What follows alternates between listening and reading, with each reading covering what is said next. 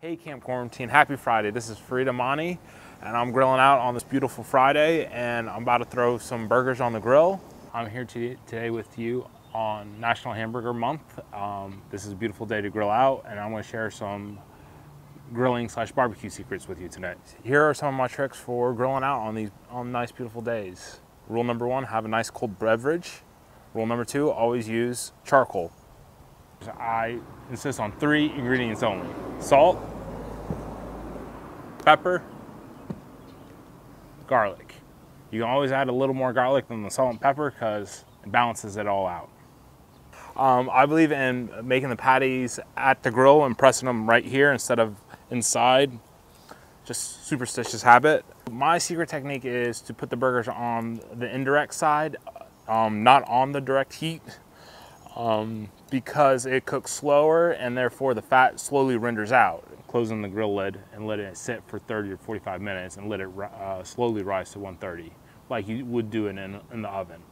But then once it uh, reaches that temperature, I take it off, let it rest for five, 10 minutes. Usually I cook something else in between that time. And then uh, while when the charcoal is hot, I sear the, uh, the burgers on with some melt the cheese right on the patty.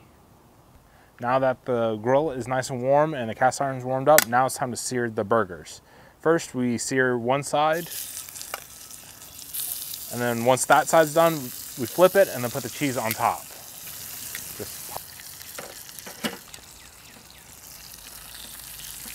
and then I'm gonna put the lid on now to help let the cheese melt quicker. The skillet's already nice and hot. We don't need too much of a burn on, uh, char on the bottom. Food's almost ready how a lot of people have started to take into uh, gardening or planting stuff.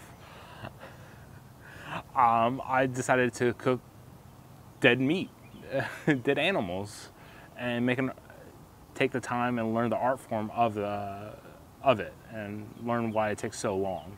We already cooked bacon and our burgers in this cast iron. Now we're gonna cook, toast up the buns in the cast iron to soak up some of that good juice that was left over.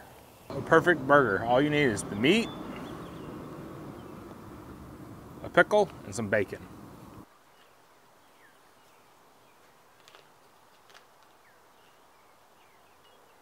Um, the perfect thing about a burger like this is you see the charred outside and you still have that pink juicy middle on the inside.